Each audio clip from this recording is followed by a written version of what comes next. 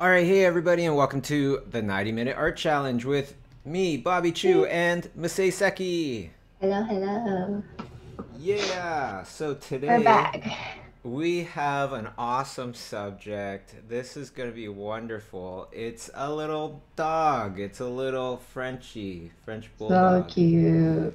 That's going to be great. And uh, before we go on any further, for those that want to participate, okay, first, let me know where you're from. I'd love to give you a shout out. Also, while you're doing that, I'll explain how to participate. So you can go to, let's see here, 90 Minute Art Challenge. If you look up 90 Minute Art Challenge on Tumblr, you can see what the next one is. This one's for Monday. Every Tuesday, every Monday and Thursday, we'll be streaming, and the next one is going to be with the one and only, the incredible Jonathan Hardesty will be joining us as well. Yes. Yeah, we're going to bring in Such guest a great artists. Mm-hmm. Oh, ninja, ninja levels. uh, this is today's topic: a cute little puppy dog. Uh, you can go to again Tumblr and search for 90 Minute Art Challenge on Tumblr, and you can find each of the topics. And that's actually a good kind of segue to go into um, how to perhaps get your stuff seen on the stream. So you can hashtag it 90 minute art challenge. Currently, hashtags are unavailable. Um, I think they are concerned that I will spread false images relating to the 90 minute art challenge. uh, whatever. They're So- watching you. yeah. The other way that you can do this is, you know, a lot of people they tagged me. They tagged me on um, on their entries. So here's a few that I'll go through. The Art of Doyle. This one, wow. yeah, I remember seeing that. That was Tough. awesome. Very tough. And. There's no pressure sensitivity. Did you notice that, Miss Yeah, yeah, and it's like just a just a circle brush. Very, It's very awesome. difficult. Very difficult. Irwin, awesome. Mm-hmm. And then we have Matthew over here, completely different stuff. Yeah, I love that one. Right on. Imagination's awesome. Big shouts out to everybody there. And uh, this is how we're starting. I'll, I'll kind of like rewind it a touch just to show everybody how we kind of started there. You started first. You did the first mark, right? It's like got a head start. Yeah, you went into color very quickly and then muted the color a bunch with some more pastel colors.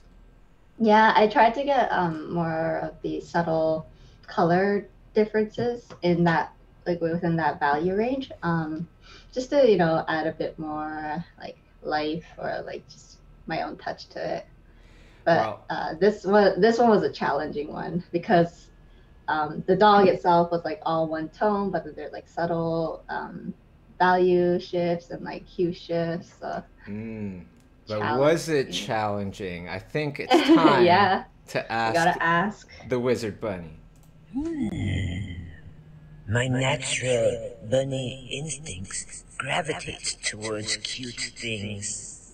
I give it a difficulty of seven.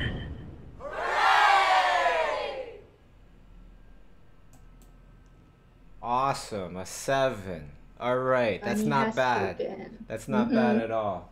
Yeah, He makes you feel definitely better. is.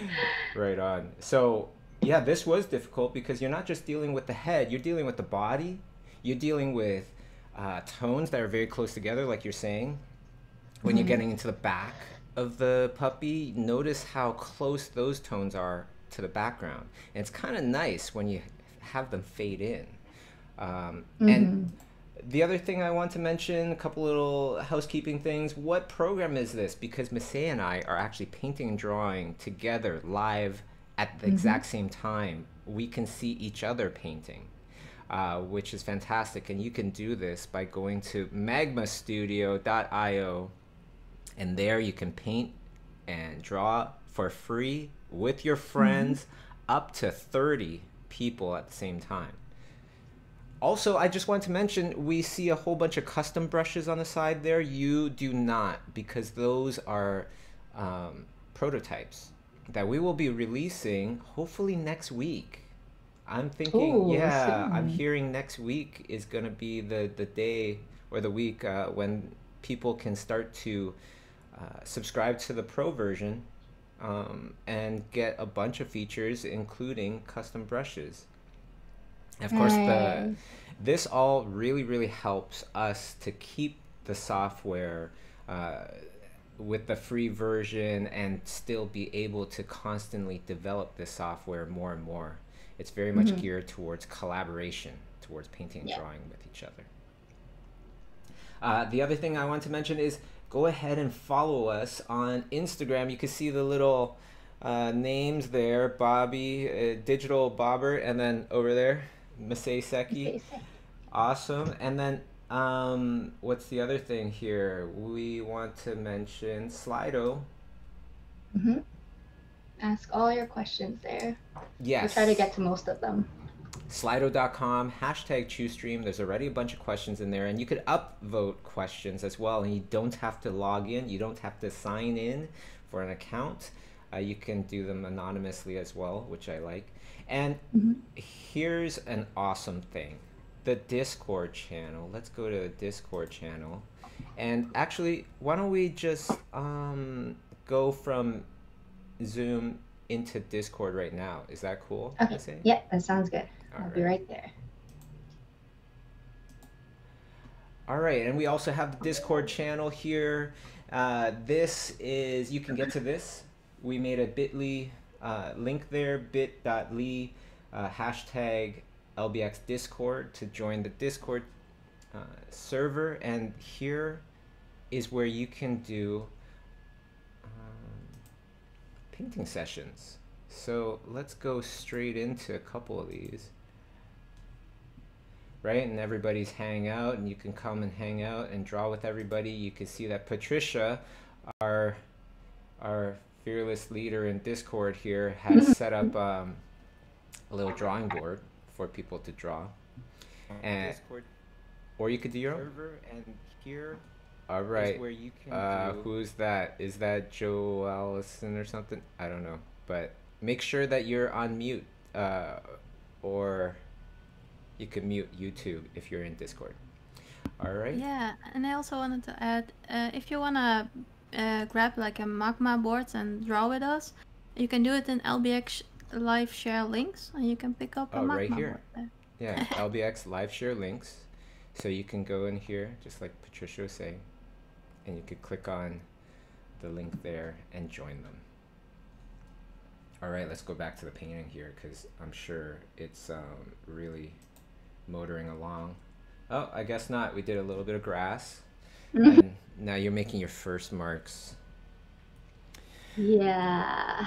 the head of this puppy, right? It's interesting. It's difficult Mhm. because Frenchies have a very flat face, but then Right. also babies have a very round face, right? Round head, and you want to have a bit of both. Yeah. And there's like also the wrinkles and the folds, um, which I love about Frenchies because, you know, we have a studio dog that your brother, the Frenchie that your brother owns. But um, I think for this one, the most challenging part, which I didn't realize when I chose this photo, was the lighting is very, um, it's it's a very light, not like a strong casted uh, shadow lighting. Sorry, that was Yeah. terribly, but um, It's kind yeah, of so like it's a little overcast. yeah, like an overcast. So um, figuring out the form was um, a bit of a challenge for me for this one. Well, also, it seems like you're starting off with slightly of a different idea, like you're almost doing like a slightly stylized version. Mm, mm-hmm. Yeah. Was that your intention in the beginning? Um, I don't think so. I think uh, because whenever I draw French bulldogs, I do tend to make it a bit more cute, cartoony.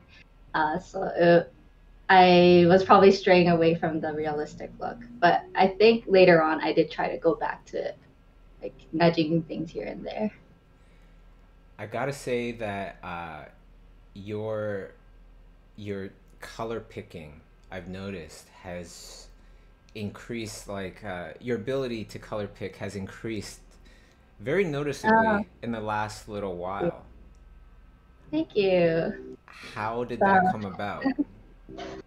um, well, first, uh, I guess it was a couple months ago in the summertime. Um, I started to go plein air painting with um, some friends, and then actually using gouache paint, like traditional paint, has made me more aware of like what colors need to be mixed together, and especially the whole idea of like um, not just adding a specific color, but making it more red or like more blue, more cooler, more warmer, desaturated. Just thinking all of that before actually putting it onto the canvas, it's like it's given me a different perspective. And then obviously these uh, weekly studies um, have been helping me to kind of like reinforce that. So are you Uh, saying that you sorry, are you saying that you kind of like half observe what color is that that I'm seeing and then half of it is kind of like you're analyzing uh, the relationships of the colors that you already put down. Yeah, yeah, exactly. It's like just thinking of um, the relationship is like the biggest part where uh, it's been helping me with the uh, color picking. Right, so it's not a straight kind of like I see a tone, I'm gonna try to copy that tone Yeah, and put it in the same place. Right? And yeah, that's that's where all the secret sauce really is. Like yeah, making the connection like uh, okay now i put this down now i need a little bit of this yellow that looks more like a yellow ochre i'm gonna mix a touch Mhm. in there and so on and so forth got it yeah. And I think um, using the Magma program has because it's a different like I don't normally use that color wheel. hmm Um, neither do just i yeah, so it's like um, it's made me think in a different way as well. So it's really cool not being set in one way and just challenging yourself to learn something new. And then, you know, that also adds to your whole like library of uh, skill set and knowledge. And also uh, discord people um, you know feel feel free to join in the conversation here but i i do feel like uh, this magma board has been really great because sometimes I kind of like I wait a little bit and I see how, how you're gonna start or how you're gonna do something and I'll be like thinking, do I want to do it that way? You know, and it gives me some options, which is really Yeah, nice. Um, yeah. Like for example, when I was when I was watching your sketch, I was I was initially thinking to do a tight like a tighter sketch like that. But after seeing you Mm, do that, I actually changed my mind. mm, Yeah, because I was like, wow, that's a lot of commitment because those lines, you know, as you know, I'll just explain to the audience. If you have a very, if you have very distinct lines, what you're saying is that that is exactly where that stuff is, right? If you have more vague lines, if you have more kind of simplified lines, then you're saying this is approximately where it is. Maybe this is the average height of the thing, but because it has all these ups and downs uh, in the actual thing that you're painting, you might have represented with a straight line.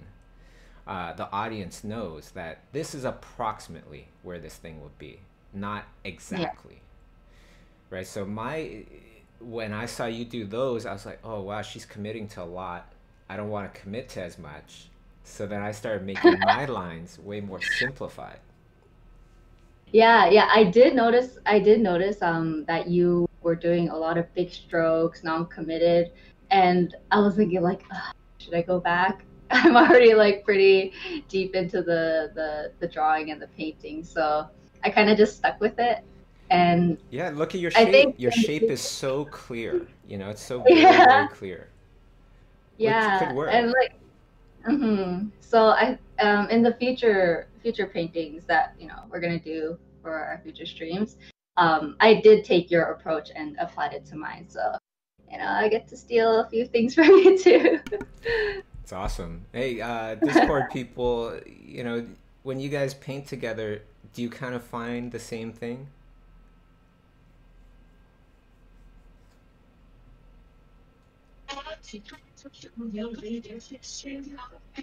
Uy.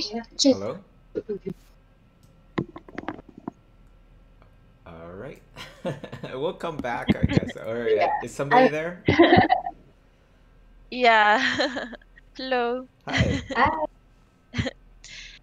Yes, I, I am always seeing what other people do and I and I compare myself in a good way. In a healthy and then way. if I yeah, in a, yeah.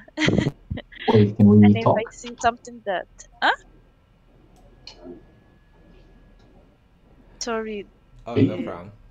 I heard something. Yeah, it can get a little, you know, tricky to talk in Discord just because there's so many of us. But we'll just do our best not to cut each other off and to give us all space to say their thing. but that's Wait. good that you're. Oh, sorry. Just- go ahead. Go ahead. No, no, that's it. That's it. That's awesome. Wonderful. Well, um, yeah, why don't we go to some shout outs, by the way, because, you know, in the beginning of the stream, I was like, where's everybody from? And I always love to know. Um, so I could give them some shout outs. So, big shout outs to, you know, we got India, Brazil, Houston, Germany, Chile, Colombia, Peru, C- California, Czech, uh, Israel, New York, Turkey, everywhere. It's awesome. Um, and let's go to a Slido question as well. And by the way, oh, a little Texas uh, just came in. Anu, Anu says, when you're in the worst emotional situation but have a deadline to finish it, uh, how can you keep yourself drawing inspirational artwork? Hmm. Man, have you ever been in those situations, Masae, where you're just like not there emotionally at all? Oh yeah, yeah, many times when when you're just like, oh, I I know I have to finish this, but like my mind isn't there, my heart isn't there. It, it's tough. It's really tough. Um, what do I do? Do do you have an answer for that, or do you ever, are you ever in that situation?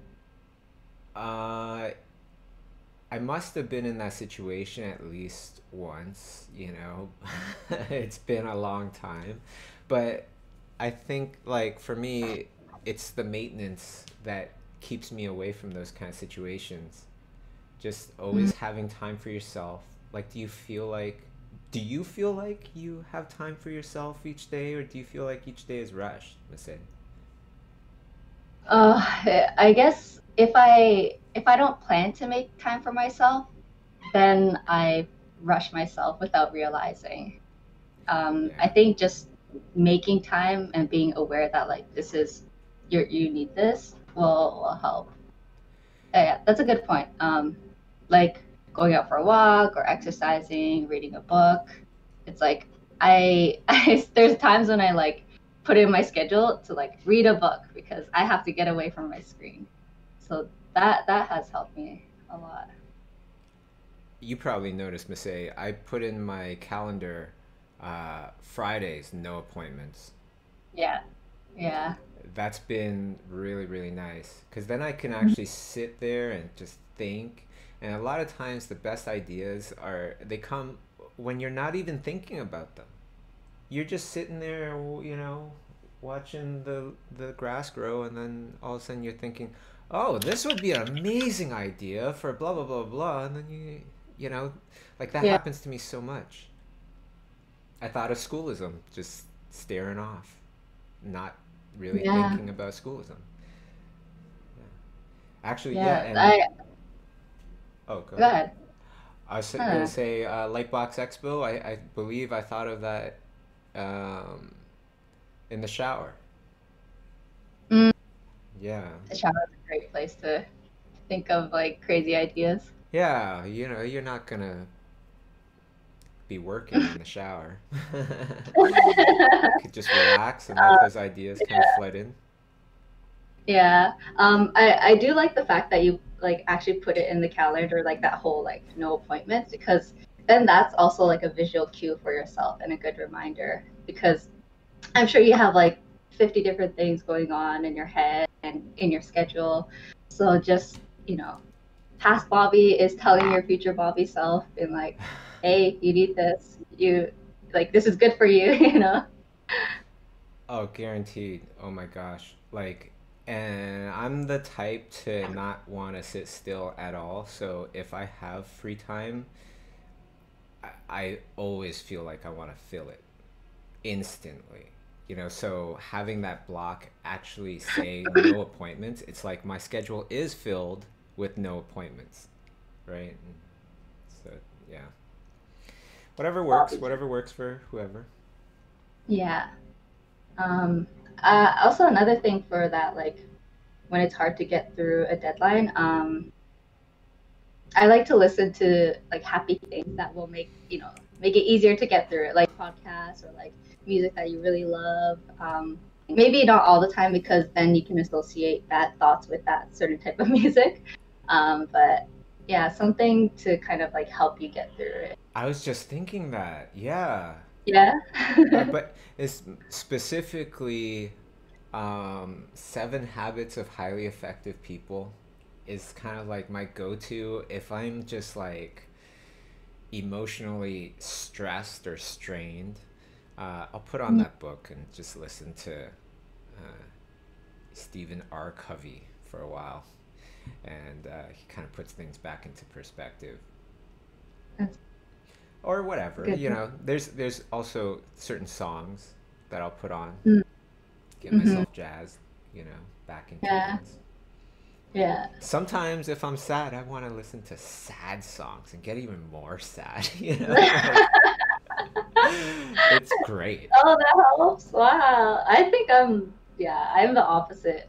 Like, I'm, I mean, I will get super sad, but then I think I'm just going to stay in that sad Yeah. spot for, for a long time.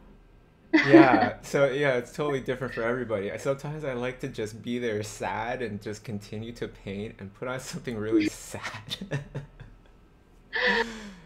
maybe, maybe it's good to just like let yourself be sad rather than like holding it in because you got to let that emotion out sometimes. You know, I I think it works for me because when I'm sad, a lot of times or when I'm like feeling some sort of emotion that I don't want to feel, I usually I have this thing where I'll just kick in and I'll observe myself feeling that way. You know, so it's like, wow, uh, I'm feeling very upset right now, as if all these chemicals that I don't want in my head are just reproducing themselves like crazy. Like that's how I'll Mm. kind of think, and I'll be like, wow, Yeah. yeah, so that's interesting. You know, like it's like as if my leg hurts. Oh, my brain is angry.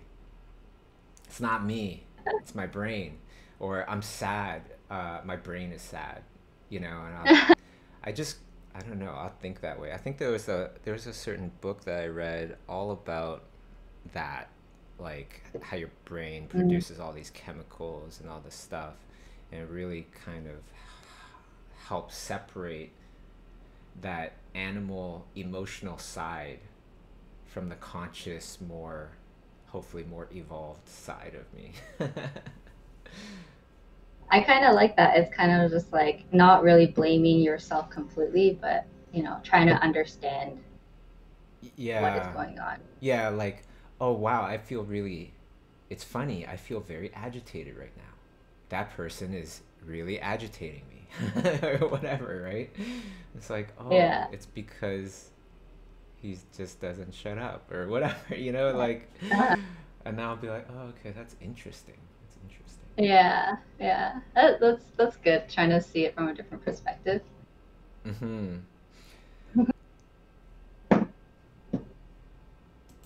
Yeah, good question. Yeah, why don't we go to um, Discord uh, if anybody wants to kind of chime in about anything? Or we could go to another question here. You know, I actually, if we don't mind, we could just stop right here and talk about the painting right now. Because, sure. um, you see, your when you put down that bass tone, I thought your bass tone was actually the the darker side of the Mm. dog. I think that's what also kind of allowed me to kind of get a little ahead at this point. You know what I mean? Because um, the the lighter tone in my dog is closer to the lighter tone in the reference than your lighter tone. Yeah. And it just creates more of a shape because of the contrast. Mm, And and you know, by the way, everybody, there's been plenty of times where Masae totally kicks my butt. So uh. I hope it's cool that I just kind of mentioned that. It's just something. abs- No. Yeah, no, it's like I then I learned like, oh, that's the reason why like this piece isn't working for me. So I learned from it as well.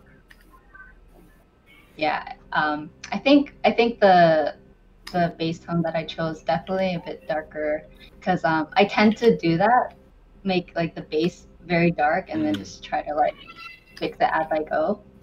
But that's with um, Photoshop adjustment layers where I can Oh you know, yeah, change things. you could do that a lot easier. Yeah. Well, something else Yeah. that I'm noticing with the, the initial sketch here, you know, when you look at the reference and you look at the head, part of the hard thing about painting the head is that you have this light part on the top of the head, and then you have a little light part just underneath the ear, just kind of like at the bottom of the jaw right there, or like, you know, at the end of the jaw.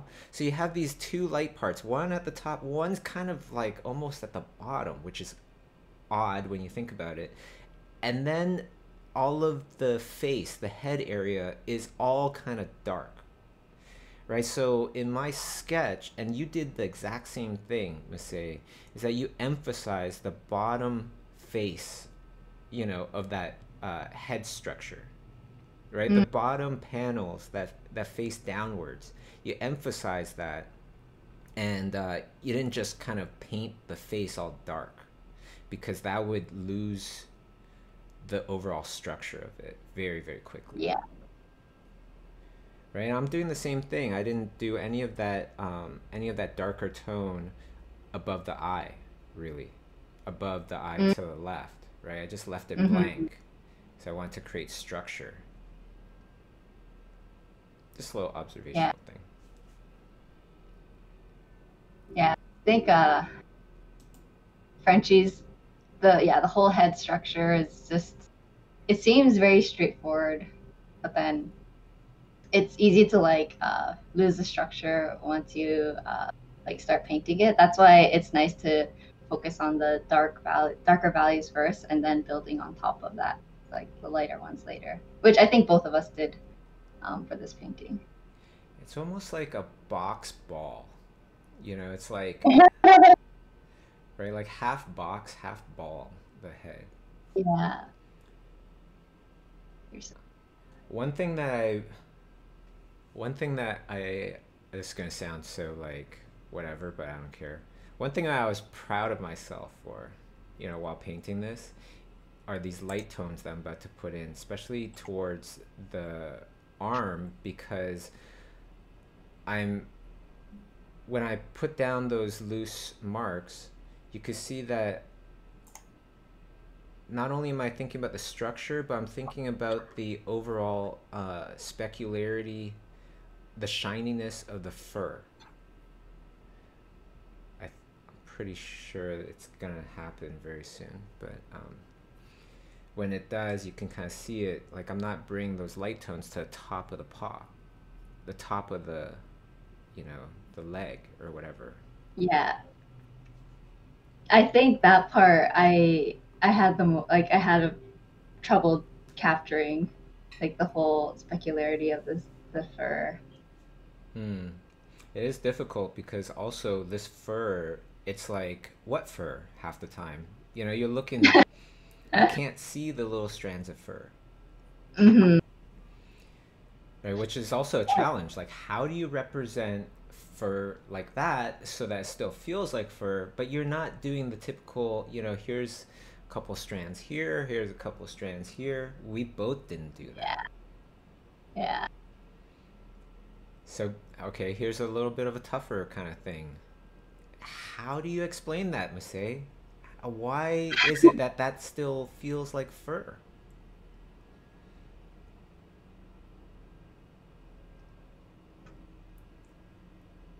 Is it where? I don't know how. I'm sure you have like a, a really good answer for that. I'm not sure either. I think it's like the um, where there's perhaps like things like um, cracks, folds, stuff like that. It's not going to be as defined, perhaps, which gives it a little bit of, of a fuzzy feeling. Just like if you're going to paint a sweater, right? Mm.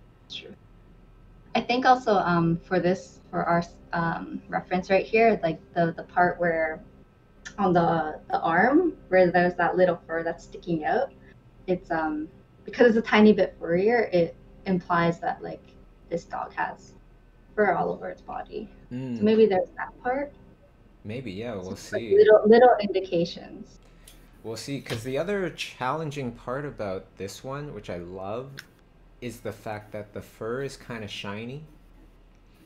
And when you have dark fur that's shiny, it just totally messes up a lot of people. Right? It's like, how do you. It's like you usually seen a black horse. Looks gorgeous. And it's like, what is happening there? Uh, with the specularity and all that stuff. It could be very challenging. and Very, very cool. It's it's very easy to go too light on the light parts, which is but it's actually very dark compared to uh, yeah, just Yeah, that's the other thing, right? It's like you know you know what the color of this dog is, like the base color. It's hard for you to go into those lighter tones for a lot of people because they know, well, this is a black object or something, right? It's Mhm. like painting uh painting the white of the eye, uh, uh, you know, on a portrait in the shadows and you're not using even close to white. yeah. It's like maybe like 20% darkness or 20% darkness. It's just in the the value range. It's very very low. I think Um, uh, that's when people should kind of think about. Um, oh, I just lost my thought there. I was gonna say something about like. Oh, oh, I remember. That's when you know you should think about what uh, and I were discussing in the beginning, where it's like I was talking about Masae's color picking, and it's like she is observing but also she's making sense of the color relationships that she had prior and to the current color that she's using now. So like using your logic going okay yes this is a white base color of this object or a black base color of this object but because of the lighting situation uh, theoretically it should be like this. And then you slowly find it right? You find that middle tone Yeah.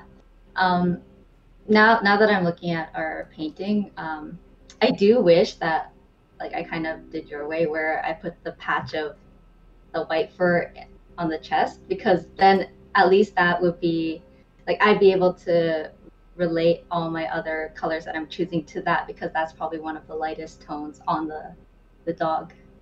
So, looking back, I, I wish I established that, so then I can like work around that. Also, by the way, I want to commend you, Masae. I want to let everybody know that I asked you, um, you know, because we talked about this. uh, We talked about it a little bit in the in the stream. You didn't actually like what you ended up doing too much. Yeah, no, yeah. um, At the end, I messaged you saying like, uh, I don't think this is my best painting. I don't really like it. Yeah. And then you were like, Do you want to do a new one? And I'm like, No. I want to show people that this is the struggle that you know most artists have to go through. They gotta make some bad paintings, but obviously learn from that and not just be upset. So, yeah, I I don't mind that it didn't turn out the best or as good as I wanted to. and that's such a valuable lesson for everybody to kind of see that it's not going to be amazing every time and some of them i don't like either like i i did a lot where i didn't like them um, but for you and i to show these things and for you to show you know an exercise that you didn't particularly like uh, i think that's going to be more than valuable since especially because you know youtube what's all the videos full of? It's all full of edited stuff where it's like, okay, yeah, everything I do is perfect. Look at me and uh, feel bad for yourself. yeah, no, this this is just raw, like um, nothing edited, pure honest painting, and yeah. um, we can go to another question in Slido, and then we'll hop over to Discord and um, see if anybody Yeah. wants to have a little conversation there. Uh, Anonymous says, "Can a strong foundation make you learn faster rather than doing the cool stuff first, like splash art or illustrations?" Very nice. I think both have a lot of uh, value, but you are right. Like, I am under. I I'm under the thought of. You know, doing foundational stuff just like this. This is foundational stuff, right? Um, it, there's so much value in that. There's so much value in that, and um, the people that generally like these kind of boring, quote unquote, boring kind of things, they generally are amazing artists. They generally end up being amazing artists because they just they keep doing those fundamentals over and over and over again. And when it comes to like splash art or whatever, all of a sudden, boom, you know, they bring all of it into the forefront, and that's what really separates them from everybody else. Um, what what is splash art? Is it kind of like photo bashing? Oh no, splash art is kind of it's more like posterized looking stuff. Like you you seen um like Alvin Lee when he was at Riot Games, that's I think that was the team he was in, right? Was the splash art team. Um, Uh, okay. especially like with Alvin, he has all these like crazy perspective kind of things, Mm. right?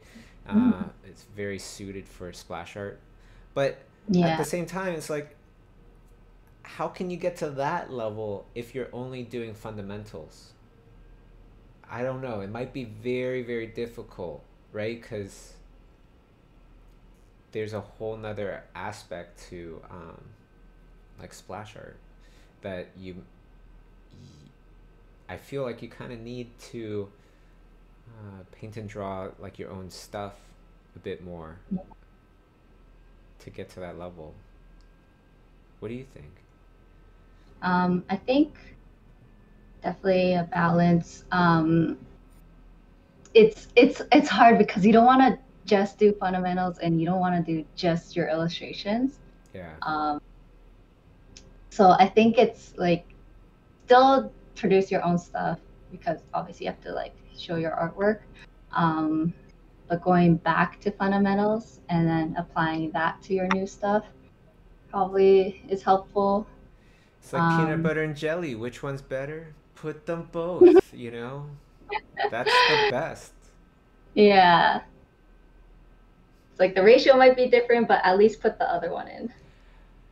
Ratio is a great key word there, Masae. Hmm. So when you think about it, how much do you think would be the perfect ratio between studies and creative art, your own creative stuff?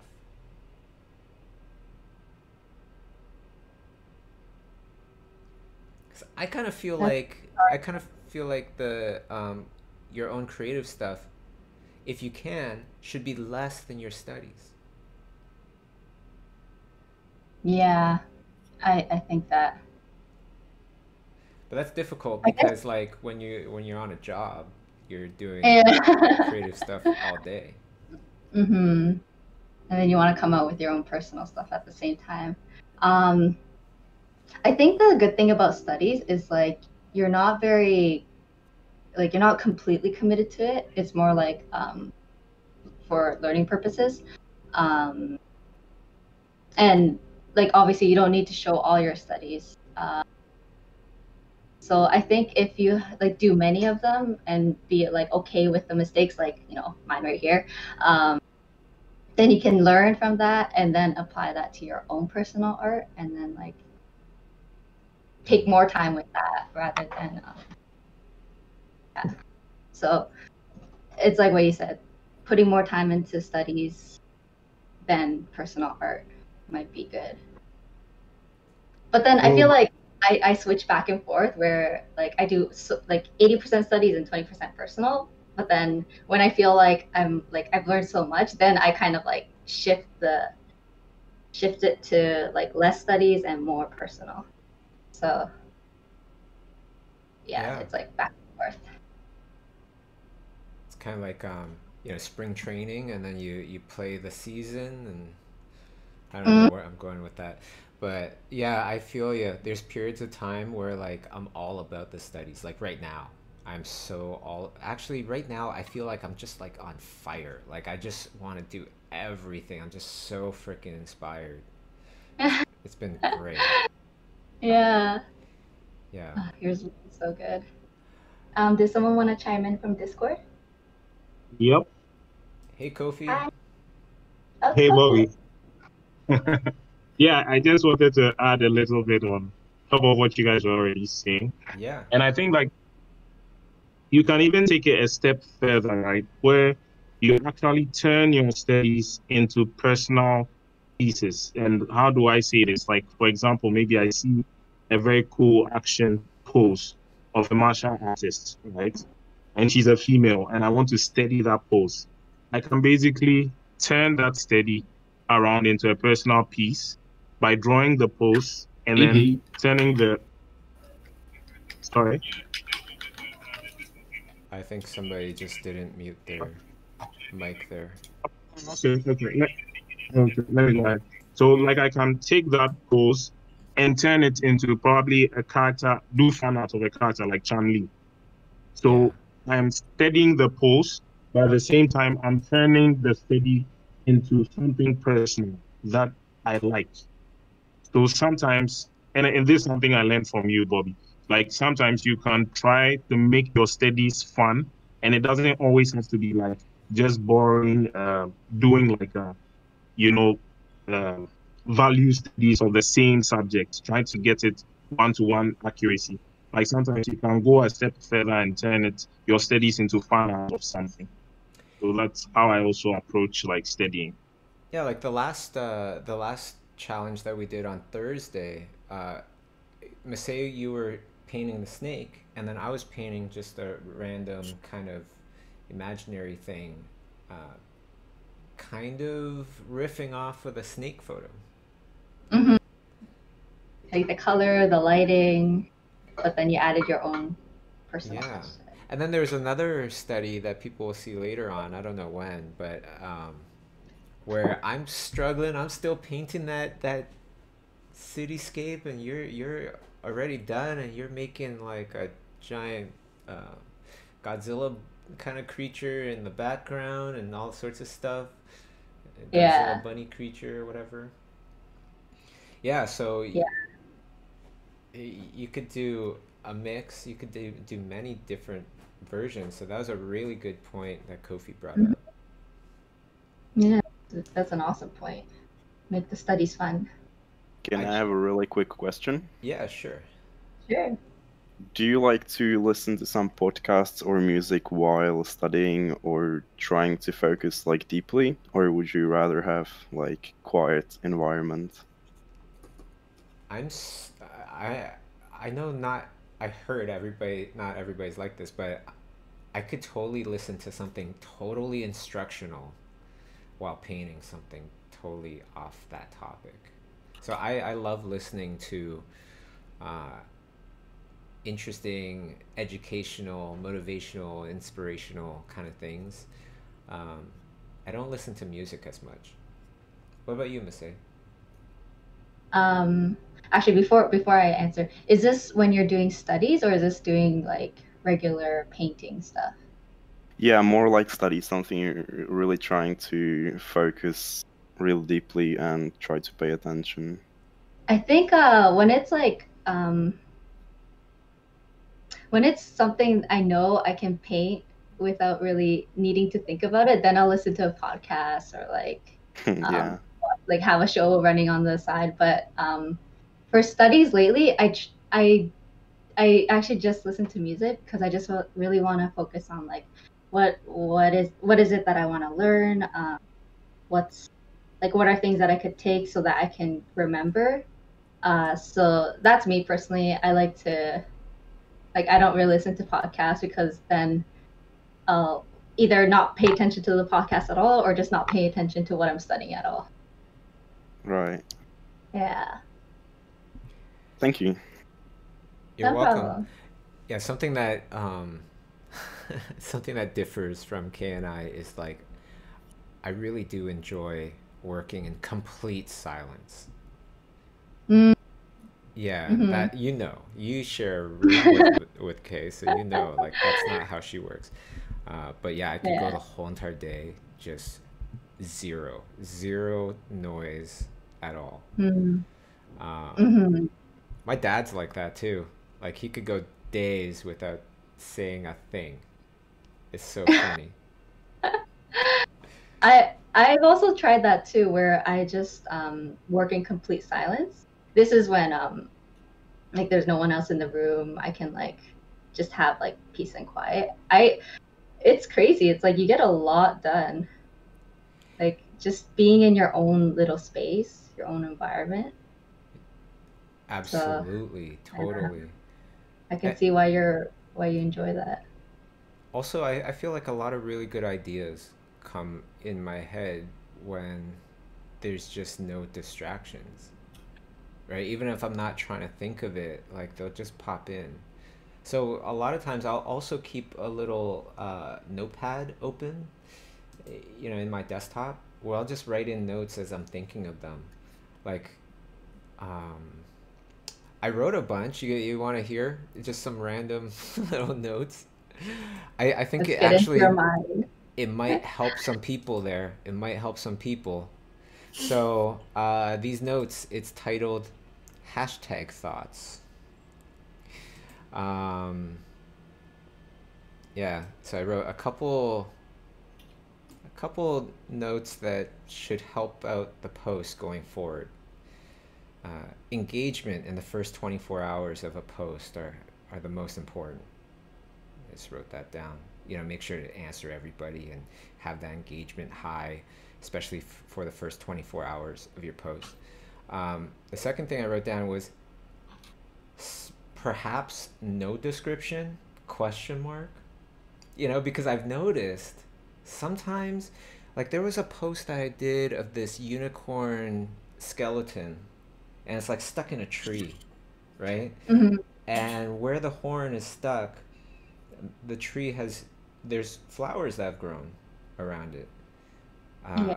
i posted that image a while back a long time ago and wrote a bunch of stuff and it did all right then i just posted it maybe like a month ago no description and it got way more traction.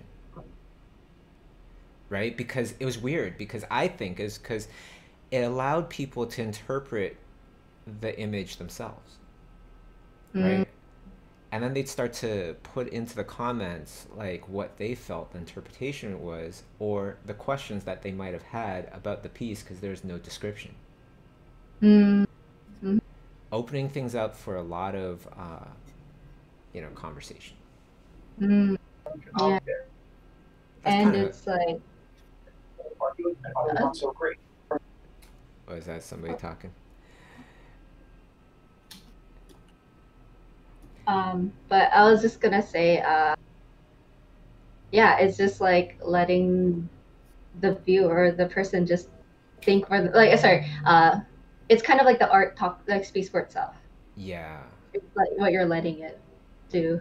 it's kind of like putting a like duct taping a banana on the wall in this beautiful you know gallery floor full of all these incredible you know paintings it just Yeah. starts conversation right That's interesting.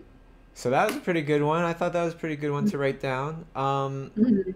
another one here is I was thinking this uh stop putting hashtags in the post description. Instead, Mm. put them in a comment and comment on your post and put all those hashtags because once currently you can't even search hashtags but once that you know ban has been lifted um, yeah your post will still pop up right even though the hashtag was not in the description of the post itself it's in the comments Yeah, I've seen some people do that. Oh, that's interesting. yeah because i was i was just like if you put it in the description of your post you're giving everybody all these reasons to exit from your post exit from your account Yeah. right? Because they could click on the hashtags. But you want Mhm. your post to still pick up when people are searching that hashtag. Anyhow, you get it. Everybody gets it. Yeah. Here's an, here's another one. Um, www.daysoftheyear.com and www.nationaltoday.com. I wrote these down because every day is a special day. It's not just mm-hmm. one special day, it's many special days. I think today is also like chicken soup day or something like that. Yeah. So if you if you look up and of course hashtags are disabled, so kind of can't do this right now, but when the ban is kind of lifted, you can look up uh, National Chicken Soup Day or whatever hashtag, right? And then you see Yeah. all these posts. mm, So, and it's not that many either. And they're topical, they're on point for that day. There's a lot of activity on these posts that don't have a lot of posts. yeah. Are these boring or is this like interesting to everybody? I don't even know. Um, but those two sites, daysoftheyear.com and nationaltoday.com, are sites that you can go to to find out what the special day is for today. Um, True. I see a lot of people um, posting stuff whenever it's that specific day. yeah. And then um, and then there's like a small trend that goes on. Oh, Yeah. totally. It's, it's yeah, it's pretty cool to see that. I kind of discovered this when I, when somebody, I think somebody mentioned to me on one of my pen drawings. He was like, "Oh, yeah, uh, happy ballpoint pen day," because I posted a ballpoint pen drawing a while back on that day. There's a day, Yeah. Yeah. That's so fun. and then I found a hashtag for it, and I was like, "Huh, I wonder what other days there are." And there's like a billion days, a billion different days. So I'm gonna start doing that. Uh, Awesome. when we could start using hashtags again. Yeah. Also, there's a thing where people say if you put too many hashtags in your description, algorithms don't like that. Have you heard of that? No, Yeah, I they did not. I don't know if it's true or not, but that's what I heard. So this hopefully will um, protect you from that because it's not in the description; it's in a comment. Mm, Yeah, and the last one I put here is just like, don't say tomorrow in a post. Time zones make it difficult to understand what tomorrow means. yeah, that's true. Yeah, with the algorithm, it's like you can't even tell like when the people post it because they don't show it in order anymore. Like the people that you follow. so annoying, by the way. hmm That's so annoying. Okay, I have to talk about our painting. Yours is looking so good. Oh, And mine is this floating dog in this weird like space that doesn't have a ground. well, you don't have any grass yet. That's all. You don't have the shadows. Yeah. Shadows really ground stuff, right? And then it does. my little feet there are not defined. So it kind of merges a little bit more with the ground, that's all. Mhm. But And I like how um, your edges aren't like as crisp as mine. Yeah, I noticed that. Uh, the crispness of the edges. I, you know, and also, um, it's because there's almost like no middle ground uh, with your with the edges between your the the puppy dog and everything else. It's just uh, Mhm. clean edges almost all the way through. Yeah, I think um, it was probably the mistake of keeping everything 100%, like the density and opacity, and draw like painting in that the initial drawing, and that's what kind of made it very uh, too crisp, and it looks like a sticker right now. But also, also, you know, like um, this is a very, very legitimate and effective way of painting too. I just, you know, I don't want to deter people from this kind of painting because there's definitely a place for that. I feel like, Mhm. uh, I feel like this kind of painting is for when you have more time. Mm. You know what I mean? Because we're under time pressure, 90 minutes to do a full on, uh, you know, photo reel as we can, French Yeah. Bulldog. That's not a lot of time at all. Hmm We did the best we can. Yeah, and there is also something about like uh, blurry, fuzzy, uh, not super, super defined things that kind of give way to a lot of forgiveness. Mm. Right? Yeah. Like when you do traditional paintings, you don't need to go nearly as detailed for people to go, that's awesome, versus a digital painting. Yeah, that's that is really true. Like Mhm. when I do traditional stuff, I'm not as careful, or sorry, everything isn't as like defined and crisp. And then, but then it like it totally works when it's all loose.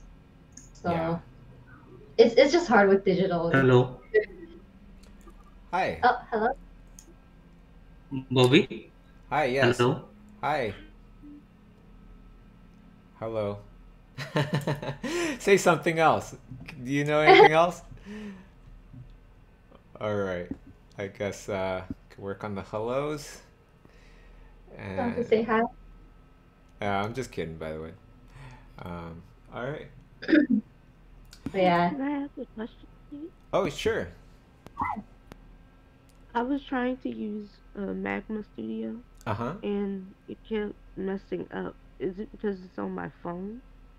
Would I need to actually have a computer to do it better? No, you could use your phone as well.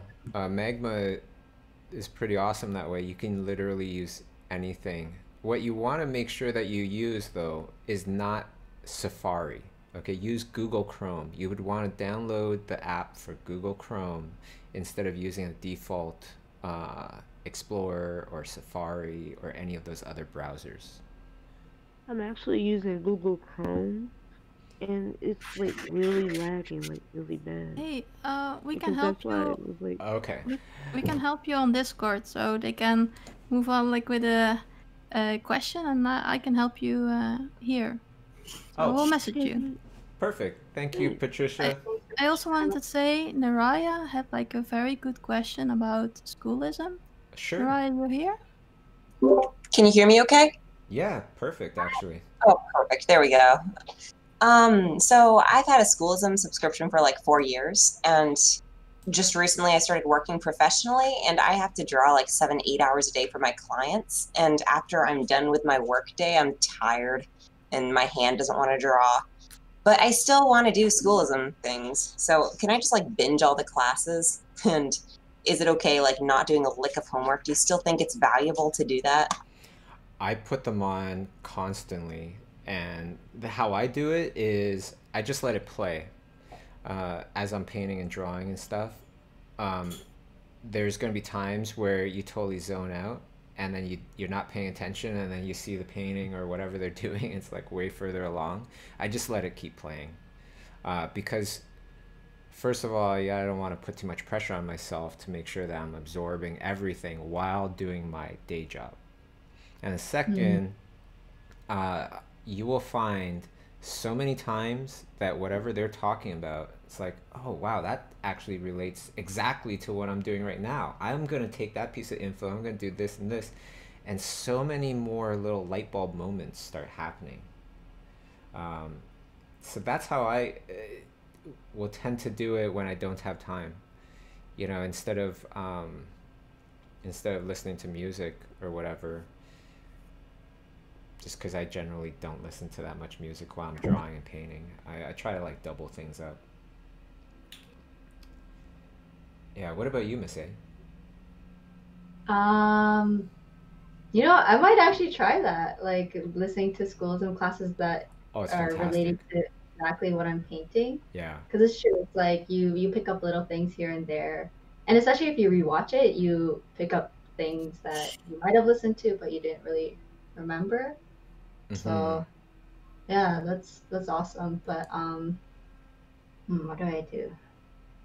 I think uh, I generally like to watch some when I have the time. Um, I kind of watch it just to like absorb, and then the second time I try to take notes of things that I I want to remember, and then the third time I can just like run it in the background like you, and then just like uh, let it play. Oh yeah, and th- that's the other thing. I I will, like I said before, I keep a little notepad document open, uh, pretty much all day, and I'll jot down important things or things I want to remember, things I hear, things that come up, uh, and then, you know, twice, three times a week, I'll extrapolate the info and start to organize and put into the proper places. Mhm. Uh, yeah if you could keep those kind of things up, then it's like it's a constant move upwards. Um, and if you feel like, man, this is a grind, and every time I'm done my day, I don't feel like doing anything else, uh, be a little, you know, be a little, pay attention to that big time. That's something that when I felt that, that's when I, I'm like, I need a change. Um, but then I don't know what situation you're in either, because many of us, especially now, need to take on jobs that we might not even like. Um, yeah, so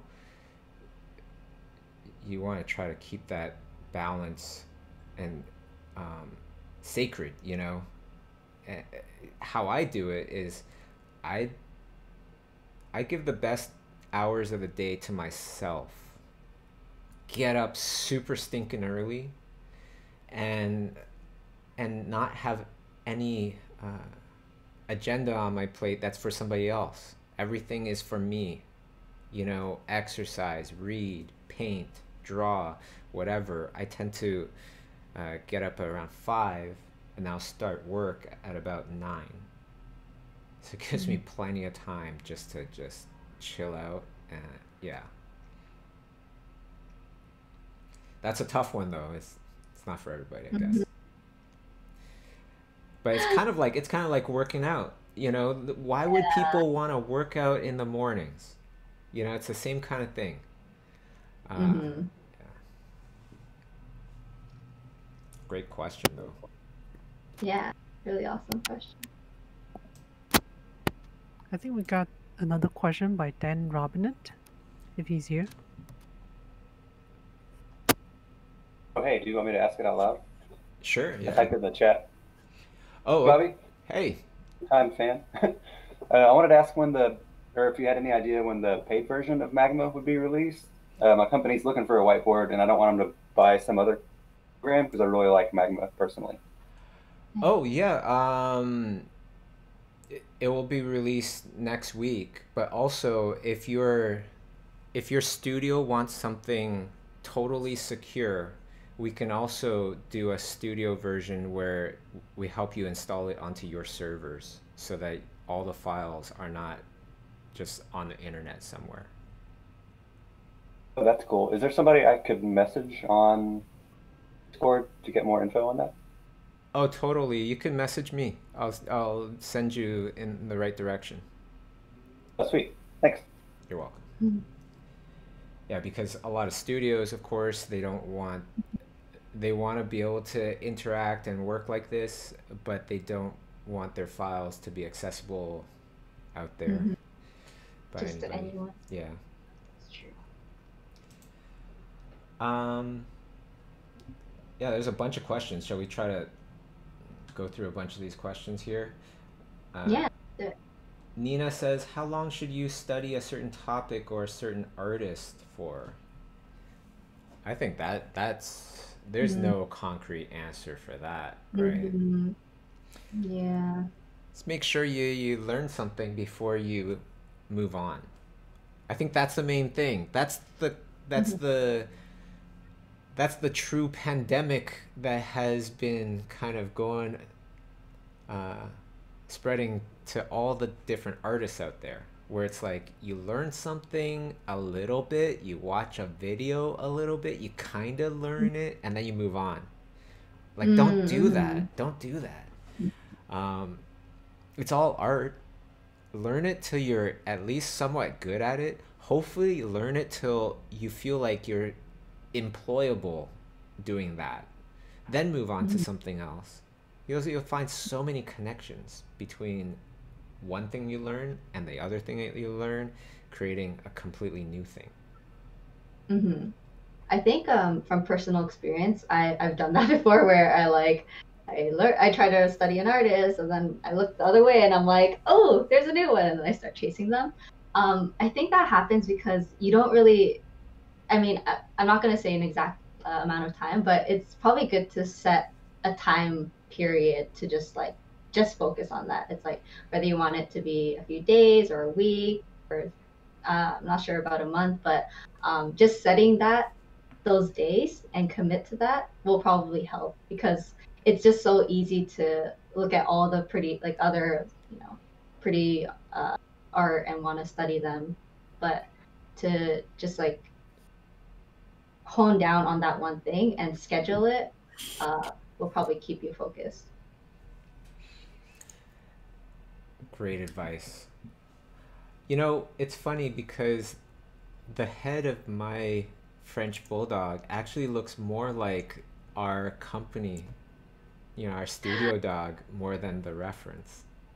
I was thinking that uh, magnus our french bulldog our studio french bulldog looks like him but like maybe a relative or sibling And it's actually really funny too because like so many times when I see our paintings, it's like if you Mhm. took if you took like half of mine and half of yours and made like the middle point, it Mhm. it really becomes way closer to the reference. That's true. Yeah. we should probably get one of those apps that merge paintings together. Well, let's go to another question here. So Gemma says, I've just started rendering. For now, no saturation. The main problem, there are too many brushes. How may I choose between? Waste lots of time before starting. That's such a good question here. This is done pretty much with one brush for me.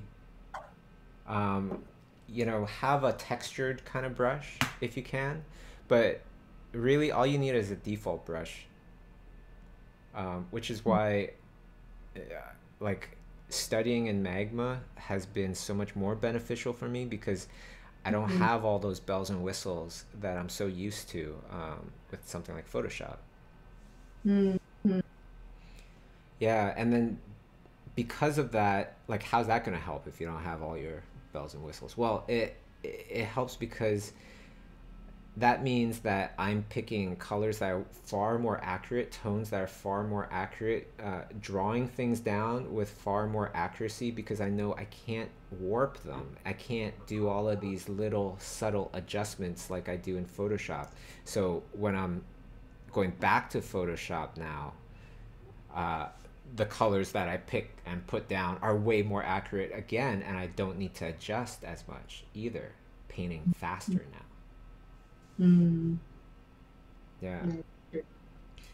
Because before, Masae, like, you know, both you and I, we were quite kind of influenced by uh, Dice Tsutsumi and Robert Kondo and the uh, painting with light and color in the Tonko House Yeah. uh, class. And so we would Yeah. paint everything like overcast. It doesn't matter if it was nighttime, even. I would just paint it overcast and then I would Yeah. adjust. Uh, uh-huh. Yeah, yeah, Yeah. yeah. So this is way better. I feel like to uh, to be able to relate what I'm doing now to everything else that I want to do, especially like traditional painting. Um, and I guess for the Hello. brushes. Oh, Hello again. Hello. Hi. hi. Yeah, hi. Uh, Bobby, this is Kaushik from India. Hi. Hello. Hi. Uh, it's nice to meet you. I mean, uh, on the previous day, I also tried to connect you, but uh, I was not familiar with Discord Oh, uh, no live problem. chat, so it Mhm. it didn't it didn't happen. So it's finally Well, it's what it's wonderful to, you know, have you on the stream and you found your way. yeah, yeah. I just uh, finally did it right now. uh, uh, so I have a question. Can I ask uh, right now? Yeah. Uh, yeah, uh, I am looking uh, for job opportunities on art industry. So uh, mm, I, I just uh, curious about my artworks. Uh, I want to really review. I mm, want to get a review from you from my art station page. So uh, is it possible right now after uh, if I share you, can you check it or tell me where the things I have to work on more. I mean, I have to work on uh, those things and which. Got it. I uh, got it. I got it. I got it. I got it. Okay, so uh you sure? I'll put it on screen. All right, here Okay, we okay. go. Uh, that would be. So where's your So should I uh, put it? Uh, yeah. where do I find the link? Uh, where should I uh, send it to you? Yeah, you could put it into LBX uh, live share links. Um, Live share links. Okay. yes. So. Uh, And okay. and just like just like uh, when you're ordering food, how real do you want how spicy do you want your critique? Uh, uh, the twist, spicy. The worst I mean, spicy. uh, I love it. uh, I want to I want to review myself as a truest. Uh, I mean, uh, how in the arts art pers- perspective. I totally get it. Put in your link. Let's go. Let's do this. This is, and then I gotta go. Uh, I think. Or wait, wait. No, we still have Uh, uh. 15 minutes. Okay, I see your link. We're gonna put this on screen, and you are not gonna hate me for anything that I say. You promise? No, no, no, no. I I I, I have no intention like this. Okay, it's all genuine, genuine uh, place of love and affection. Okay, we are gonna give this person Okay. Kushik. Is that That's what, okay? that's what I am want. Fantastic. We're gonna give you a nice, uh, very genuine critique here. All right, Kushik. It's a Yeah. neat. It's a neat uh, header. First of all, it's a neat header. But Sorry, sorry. I was gonna say it's a it's an interesting header here, banner image. Okay. Um, yeah, yeah, yeah, yeah. Uh, it's a banner of uh, a, uh, Oh, it's all good. mm, Let me just let me just keep talking here. I'm gonna because I don't want to take up too much time with this, but I want to also give you as much information as I can. Okay. So the very first thing here is when I'm looking at this, I look at the banner, and Masae, Mhm. I'm just gonna go hot and heavy on this. So you jump in, you yell or whatever, you cut in, uh, if you want to say anything. But for me, it's like I look at this banner, I'm going, this person likes to be in sci-fi. Then I look at any other image, I'm like, no, he doesn't. He doesn't want to be in sci-fi at all. He wants to paint. No, no. I want to. I want to. I, I totally uh, understand. I totally understand what you're saying here, but you gotta listen to me for a second here. Yeah. When I Yeah, sure, sure. I'm looking at this as an employer and I'm going, this person Mhm. wants to be in sci fi. Then I look at your portfolio and then I go, no, he doesn't. Right? So, in other words, make sure that what you have in your portfolio reflects the things that you want to do. unless your portfolio is not trying to get jobs. Okay, but if it is trying to get jobs, you should definitely make sure that it is exactly what you want to do. Um, and then when I'm looking at this, there's some issues here. Okay, you have this robot guy, you got these little guys, you got this big thing here. You notice that these little people down here, um, let me try to, let me try to raise it up a little bit here. Right? You see these tiny little people there, uh, they actually have atmosphere. You look at the darkest tone on them, right? You look at the darkest tone on Mhm. them, and it's not that dark, Mm. right? And then you look Mm. at the darkest tone on your ship, and it's quite dark. Mm. Which one feels closer to us? The ship feels closer to us. The robot, the giant robot thing feels closer to us. Because these guys have less value range than this thing. Why would that be?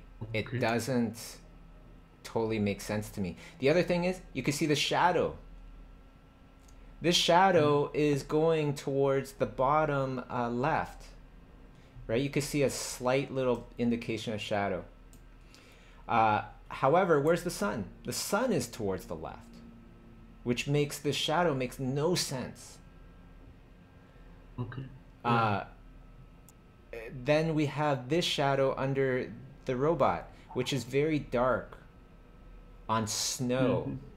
right? This light is going to bounce and it's going to hit this robot, which is a reflective, somewhat reflective thing, which should make a less Mhm.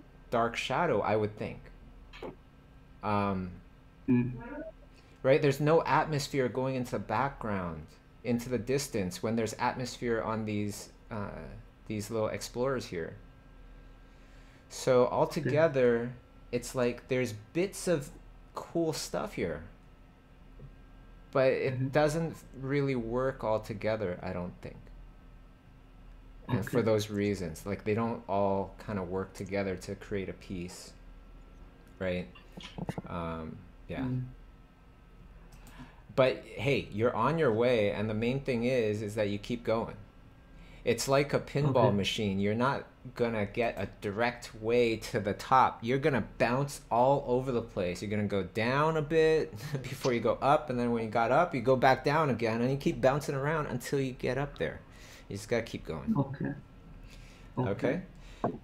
So or uh, and I uh, I mean I want uh, I just uh, wanted to uh, know that I am not a uh, certified artist. I am a self self taught artist. So I have done inspired by uh, you, Craig Mullins sir, and uh, mm, some other sirs. Uh, I mean it's lot many ideal. It's too many ideal for me. Uh, you are one of them, and also it's. Uh, I mean, whatever I say. Uh, well, I, get it. I get it. I get it. I Kushik. didn't get any degree in art from any university. Okay, Kushik, hold on. I understand. Sure, sure. And um, So- you know, like the thing is, are you certified, Masae? I'm not certified. I don't remember being certified. You know what I mean? So certified is all in your heart. It, there's a point where you just go, okay, yeah, I'm professional. Whatever. In India, certificate is must. I mean, in India, they require certificate first. Then your works will uh, be uh, verified, or uh, the, the other things will uh, verified And later. But okay, that you, you know that's cool and everything, but um, Mhm. it- I'm not certified, and I, you know, like you don't need to be certified to work for a company in Europe, a company in the U.S., the company wherever. It can help, you know, if you have like a degree or something like that, but you don't you don't absolutely need it, uh, especially if mm-hmm. you're not planning on moving there. If you just wanted to get some freelance work and you want to work on some cool projects, you don't need to be mm-hmm. certified at all. We have to get mm-hmm. away from that. You know, who is this great, amazing person or committee that deems you to be professional, deems you to be certified good enough to be an artist, you know, like screw that person. Who's that person? right? yeah. You know, Uh, uh, one thing I want to ask more that uh, can I ask uh, question, something about schoolism? Sure. Yeah. Uh, so uh, I want to uh, take classes from schoolism, but uh, the problem is I am from India. So how can the uh, payment methods and all the things will? I mean, I Oh, that kind of stuff you no could just ask help desk. Okay, you could you can just email uh, info at schoolism.com and they'll help you right out. Uh, we have lots of Okay. yeah, we have lots of people from India studying on schoolism, so there's Mhm. definitely uh, ways, no matter what. hmm info at the rate schoolism. What was that? Sorry. Info at the rate schoolism. What did you say? I mean, what uh, did you uh, ask me to mail? Okay, the email is info at schoolism. Um, yeah, Dot that's com. it. We, we will help you, uh, Info at Kusik. schoolism.com. No worries. Great. Thank you, ma'am. Thank you. You're very Bobby. welcome. You're very welcome. Awesome. Well, shoot, this uh, this painting is progressing quite a bit now. Hey, look, Yeah. you got shadows. Instantly, I just want to mention this. Instantly, things are merging together on your on your side. All that stuff that you're talking about before, right? Yeah. I finally put it in. That must have felt good to put in that shadow. Mhm. Mhm. Yeah, I think um I was I I think looking at it, I'm just like, oh no, I would say like add that part, add this part, but um because it's like a step by step, a whole progression for the painting, um I think I'm glad that I did I was patient with that and did you know took the steps that I needed to. Yeah, and you know what? There is something to be said about um, resisting to do something because it's not in the right order yet or it's not the right timing, right? Mhm. Like, I remember in the beginning when I was first starting to paint, it's like you want to put in that highlight right away, Yeah. right? On anything. Uh-huh. like something shiny i want to put that highlight on there uh, but when you do that it was harder for me to make a good painting True.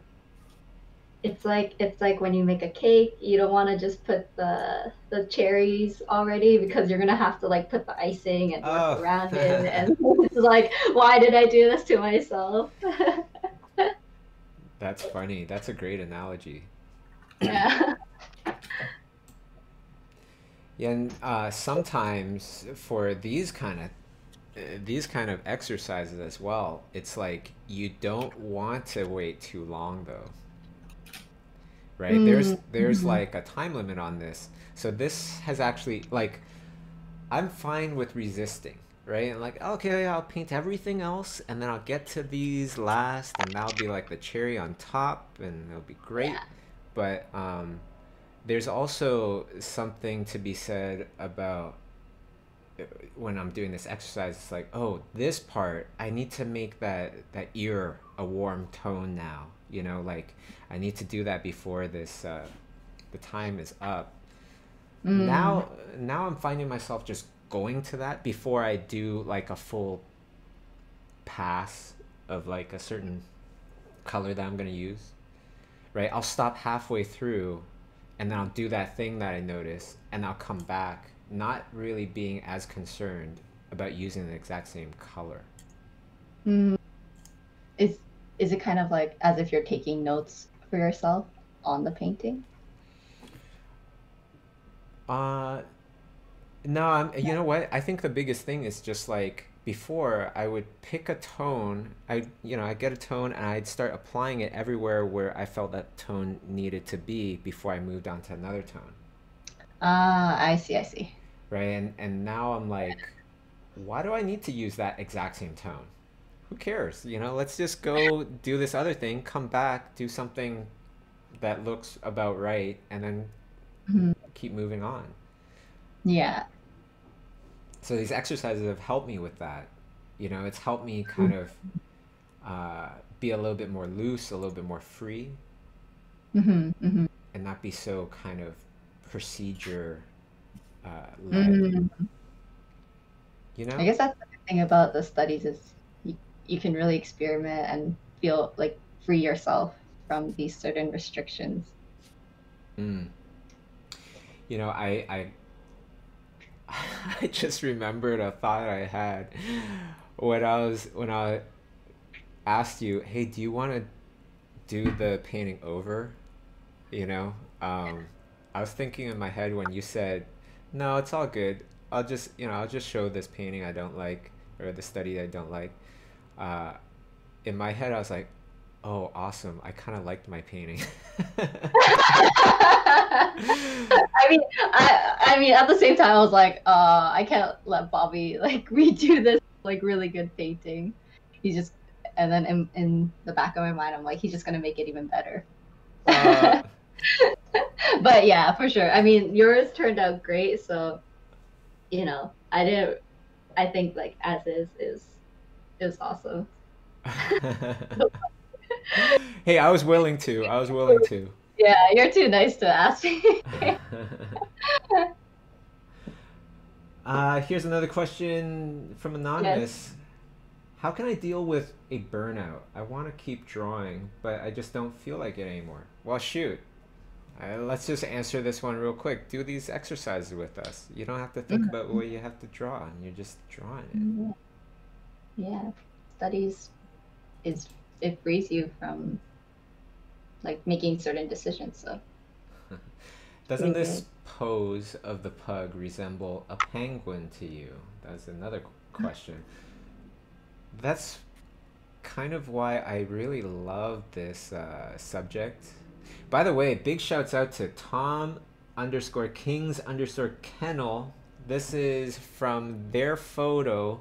If you love Frenchies, if you love French bulldogs, that's totally the account for you, by the way. hmm hmm There are so many absolutely just so cute uh, French bulldogs on that thing. It's yeah, awesome. it's so cute. Yeah, so um penguin?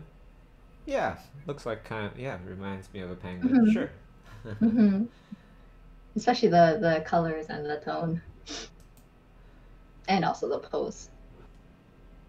Yeah. Um CJ Hi, Russo. Bobby. Oh, yes. Hello. I'm sorry. I'm sorry. No, no, no, go ahead.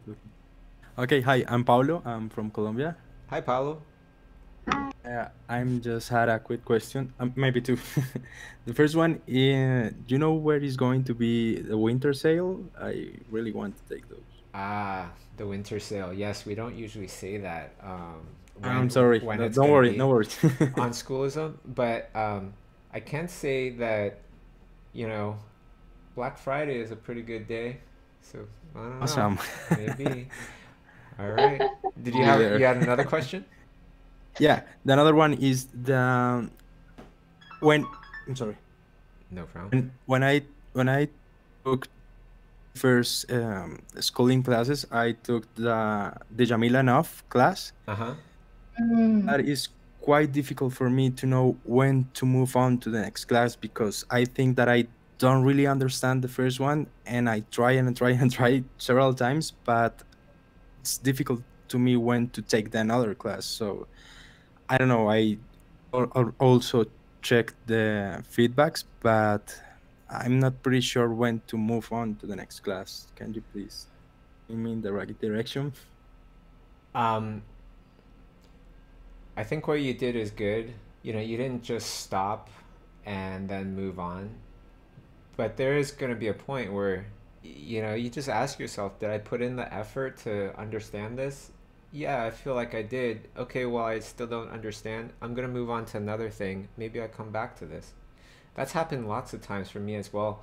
Um, especially with Craig Mullins' class. Like, there's so many parts in his class where like I came back to it like months later and I was like, "Oh shoot, yeah, when he said that, now it makes far more sense or whatever."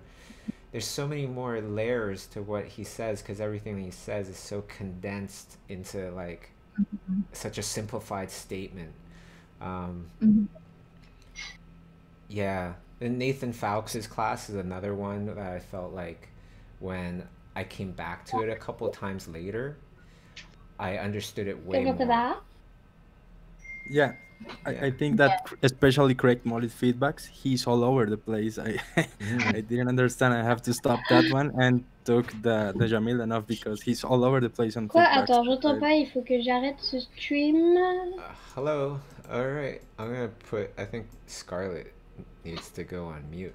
I'm not sure if that's Scarlett, so I apologize if it if it wasn't. I think it was. I, I will Okay. message her. so I, I really like the part where you're saying like you know after three a few months you like you go back to it i think during that like few months where you took a break from for example craig's class um if you're learning from other classes then it's like you're like whatever you learned in that and when you listen to craig's stuff it makes a lot more sense so that at least that's what's happened for me um so i think it's important to kind of like learn other things because that kind of like you know stacks on top of the other things that other instructors say um so yeah craig Alright. especially he he has a lot of condensed knowledge into like a short amount of time so yeah, that's right.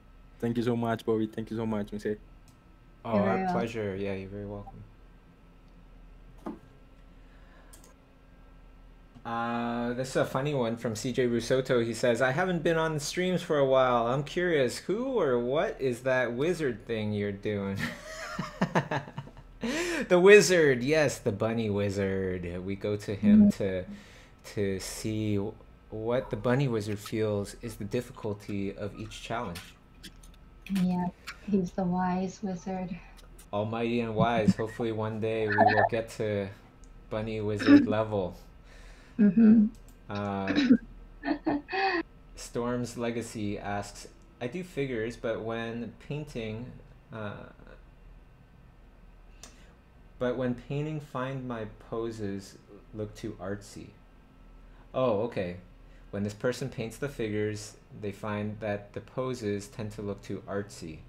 I draw people in coffee shops too, but what are other ways to get neutral poses with clothing? Neutral poses with clothing. You know, natural poses Oh, sorry, natural. Yes. Dyslexic. Uh, I think I I don't know, but I have a sneaking suspicion, Masae, that Storm's legacy here is exaggerating the poses too much. You know, because like you know when you're in school and the teacher goes, "All right, push that pose. You gotta push that pose," and some people, like myself, when I first heard that, I was like, "What? Are you, okay, I gotta push this pose." Uh, you know, and like start doing this stuff where it looks like the guy's breaking his back. yeah Uh, maybe Oh, go ahead.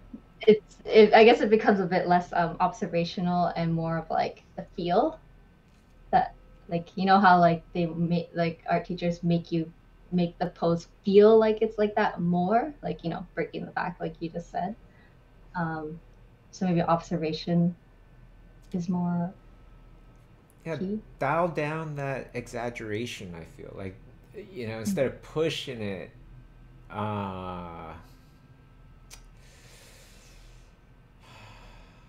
you know, some some poses are not meant to be really pushed that much, hmm right? It's just it's like you want to push it like 10, 20%, not like 50, 70% or something. hmm Yeah. Um, but to find other ways to get natural poses with clothing, there's uh, TV shows, documentaries, Yes. YouTube videos. YouTube, I think most people are kind of like just their natural self and they're standing or like sitting in a certain position that kind of like with their personality. And then you can like pause that and draw that maybe. Um, that's one way. Anonymous asks, do you ever use 3D software to work out lighting of objects and shadows or stick to using reference images? Generally, no. I've done a couple, I've done like, yeah, I've done like literally like a couple paintings where I mocked something up in ZBrush first. hmm Yeah. Yeah, I I don't think I I wish I knew how to, but I haven't learned the programs. Um, Yeah, Kay and I were just talking about um, learning some Blender tomorrow. Ooh, Yeah, that looks. I I could see it as like a very um, efficient way for uh, client work. Yeah, you know, the thing for me is just like, I just really like painting and drawing. I like the act of painting and drawing more than sculpting, and far Mm. more, far more than um, than posing action figures, which a lot of times that's what 3D programs feel to me uh, at a Mhm. point. You know, you make your model or whatever, and then you're kind of like posing it like you're posing your little Barbie dolls, action figures uh, in the playhouse. And that's Yeah. fun, but it's not nearly as much fun for me as painting. Mm. I guess it's also like problem solving. Like you get to figure it out yourself. Yeah, like there's some stuff where it's like you just I don't know you I, don't want to do it that way, right? Like I just Yeah. don't. I want Or- I want to do it like Mm. this. And some people might say, well, you know, that's not as effective. That's not as productive. Mhm. Uh, which maybe it might be true for certain positions, um, for certain people. But then there's another th- part to this. Paintings, to me, they just feel so much more art. It's all art, Mm. but paintings, drawings, they feel more like art to me. And I feel like, you know, if you gave somebody, say, you gave whatever actor, uh, Nicole Kidman, you gave her this this image, and it looks photoreal of her as whatever Wonder Woman. Let's Mhm. just make up something, versus a beautiful painting rendition of her Mm. that looks like Sargent painted it, right? It looks like a painting of her Mhm. as Wonder Woman. Which one would connect more? Mm. You know what I mean? Yeah. If it's just a photo of her, if it looks like a photo of her, I don't I would like to argue that many people would be way more attracted to the painting of her that looks, you know, very representational, like a Sargent Mm. painting or something like that. Mm-hmm. Mm-hmm. Yeah. That's true. Anyhow, this painting We are finished. is done. Check this out. So let's pull that down. Boom. Finished painting. Yay. Yay, we did it. Yeah, that was a tough one. That was a tough one. All right, everybody. So thank you so much for everybody tuning in. I did want to mention that we will be streaming again, you know, every Monday and Thursday. So come paint with us. Subscribe to the channel if you haven't subscribed yet. Hey, you made it all the way through. Don't forget this channel and make sure you subscribe. And uh, for Discord, Discord's happening all the time, and it'll be happening more and more. The Lightbox Expo Discord account. Uh, join, study, work hard, kick some butt, and we'll see you at the next stream. Thank you to the audience. Thank you to my amazing uh, team that has been helping with ushering many of the callers and everything. Thank you so much. Uh, Thank you. Thank you to my wonderful assistant Jamie in in the chat that's been helping everybody as well. Jamie. And the biggest thank you goes to my wonderful co-host Masae. Thank you so much for painting with me and joining me. Thanks for having me. And hugest thanks obviously goes to you, Bobby, for hosting this awesome challenge. Oh, well, right back at you, Masae. Uh, next week, Monday, it's gonna be Masae and I with the one and only Jonathan Hardesty. Join us then. See you. See you, everybody. Bye. All right.